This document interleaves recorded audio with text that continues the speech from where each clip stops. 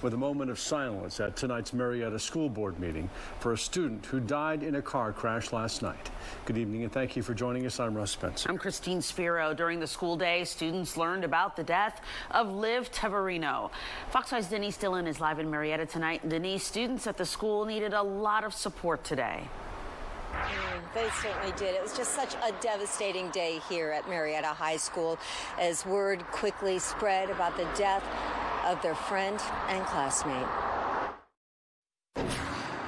She was a shining star to everybody. Flowers and messages pile up on the parking spot at Marietta High School, where Liv Teverino would park her car every morning. 16 year old Liv was a junior. Superintendent Grant Rivera called her a scholar, athlete, and community leader filled with heart, spirit, and determination. She's very much an athlete and, and she does great in school. She's just yellow American kind of girl. Carla Manuel is a close family friend and has known Liv her entire life. She was such a sweet girl. Everybody loved her. She did a lot for the church. Um, at St. Joseph's, she was an altar server, so I saw her a lot on Sundays at 9 o'clock Mass.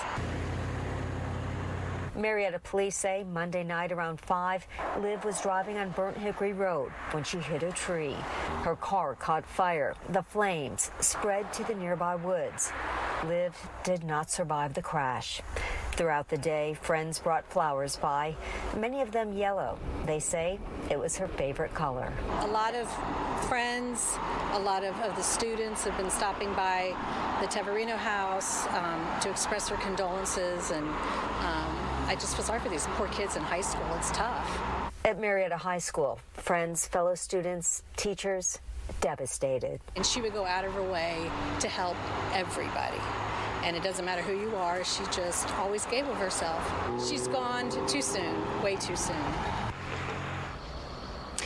Tonight, friends and classmates gathered at St. Joseph's Church to pray and to honor Liv and to help each other cope with this loss. Reporting live in Marietta, Denise Dillon, Fox 5 News.